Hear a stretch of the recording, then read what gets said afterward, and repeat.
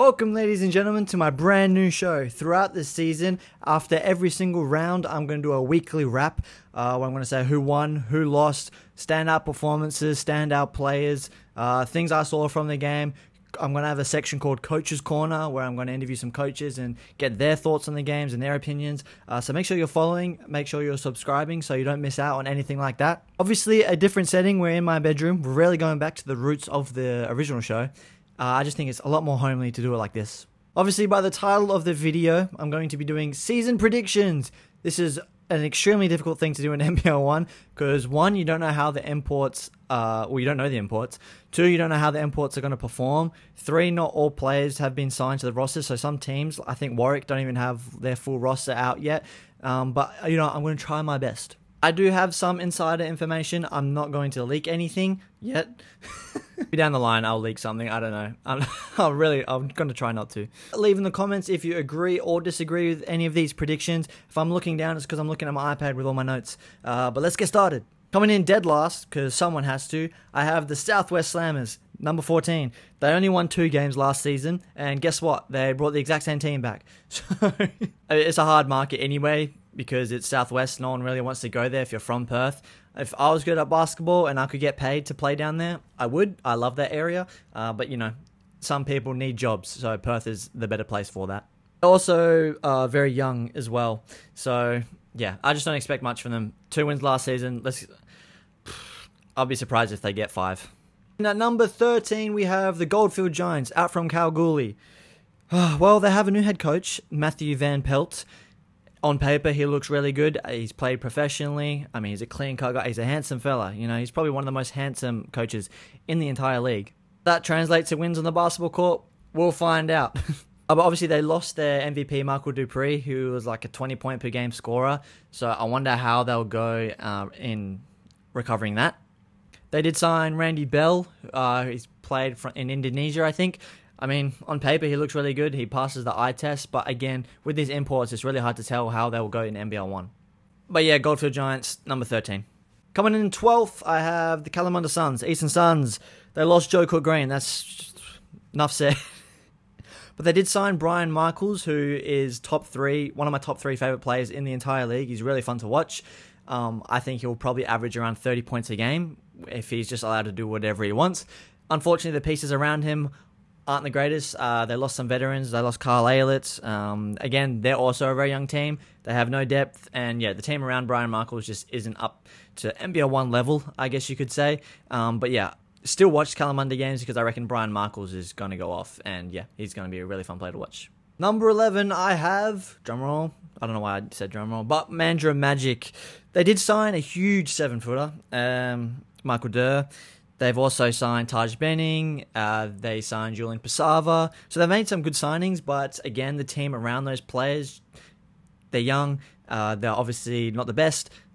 I, am rude. They're better than I am, but yeah, they also have no depth. Like a lot of these teams, they obviously struggle with depth. I reckon Julian's going to have a really good year. Uh, I'm excited to see how their seven footer goes.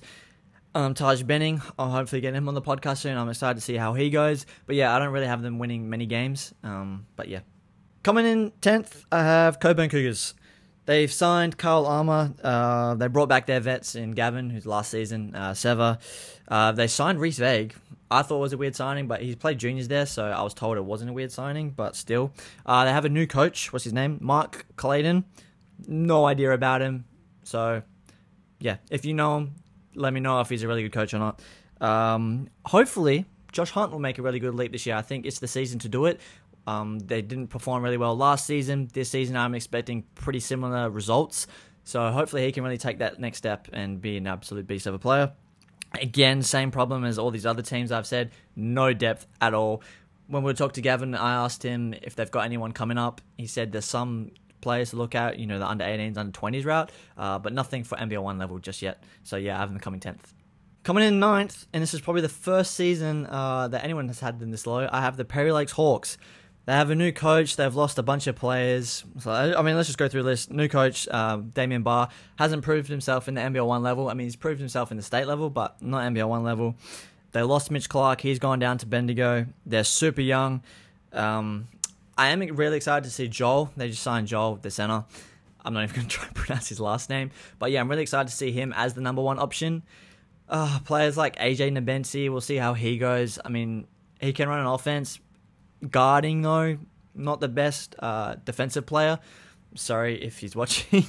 but I mean, I, I watched the Redbacks Perry Lakes game, and pretty much all he did was whoever AJ was guarding, we just ran the offense like that. Um, yeah, because he just couldn't really stay in front of uh, who was it? Brighton Hobbs. Couldn't stay in front of Brighton Hobbs, couldn't guard him in the post. So I'm expecting teams to pretty much do the exact same thing. But who knows? He could prove me wrong. He might have been in the gym this offseason. Who knows? But yeah, I have Perry Lakes going ninth. Coming in eighth, making finals, I have the East Perth Eagles. This is a team that could 100% shoot up the uh, ladder. Ladder rankings, I don't know what we call it in NBL 1. I'm going to say ladder, footy background.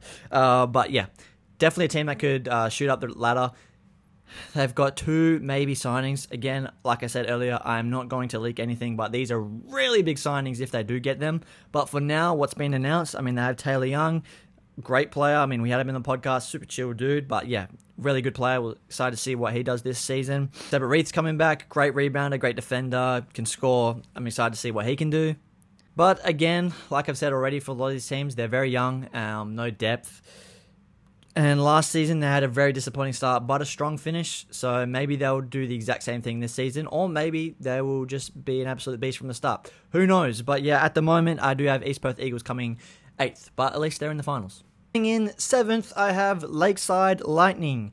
Now, some of you might be like, why? Well, I mainly have this because of Mike Malat. He's a really good coach. He did really well last season when the team that they put out just wasn't that good. Uh, I believe Simo told me that they won seven of their last games uh, heading into finals, which is like really good, obviously. Um, they did sign some good on paper imports. Like on paper, they look really good and they passed the eye test. Mike Adewunmi and Marshawn Blackman. Again, with imports, it's really hard to tell how they're going to do in NBL 1. Like, you just don't know. Some are really good, some are really bad, some just don't perform. Um, but yeah, I mean, excited to see how they go. And I'm having Mike Latt on the podcast soon, and I'll definitely talk about this team then and get his opinions on the season. Uh, but yeah, at the moment, I have them seventh, so still making finals. Coming in at sixth, and some of you may disagree with this one, I have the Warwick Senators. Some of you probably expect them to be a lot higher. Me, I just don't. Uh, Zach Quintana, obviously a really good signing my opinion is Zach, he really does need a really good guard to feed him the ball. Obviously, they did kind of get that, but again, I want to be a contrarian. Saying that compared to last season, they've lost some vets. Uh, they lost. I mean, Cody Ellis retired. Uh, Todd. They've signed Todd Withers. Uh, again, I don't really know much about him, but we'll see how he goes.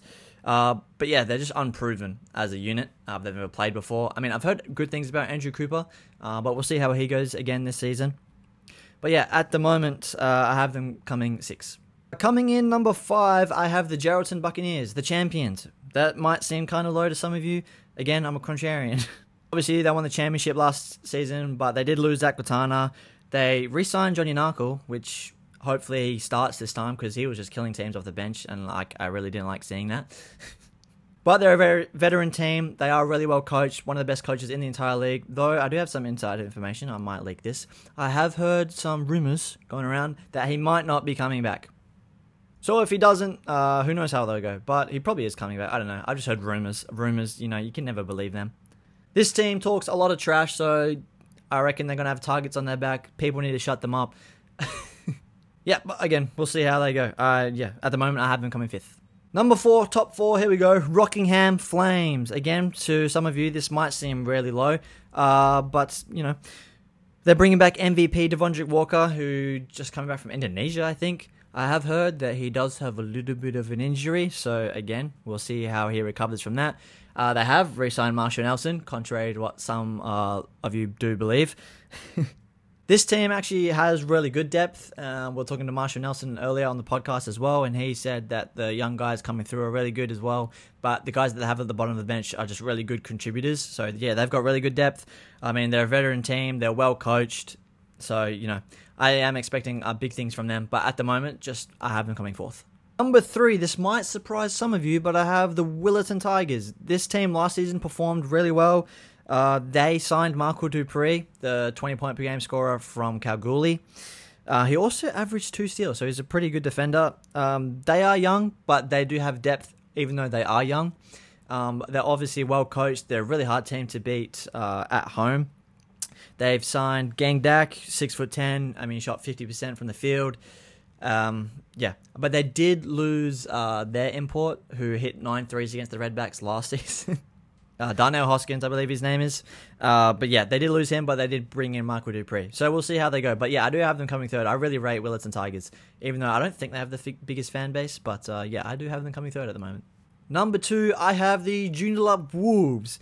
Some of you definitely have this team ranked number one, especially because they had such an amazing offseason. Uh, they signed Ethan Elliott, they signed Caleb Davis, they re signed Jonathan Wade. Uh, but, you know, I do have some concerns with this team. They do not have a big yet. Uh, they're probably definitely going to go out and get one. Um, but they are also really top heavy. Um, like they don't ha- they don't have the depth. We had CJ on the podcast, and he said he's right in his prime. This is probably the healthiest he's ever been, uh, which is exciting to see and it's uh, exciting to hear.